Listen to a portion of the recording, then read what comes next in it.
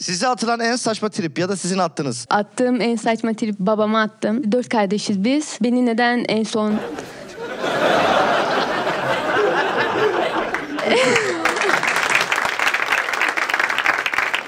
bir de adım Zeynep alfabedeki en son harfle başlıyor diye.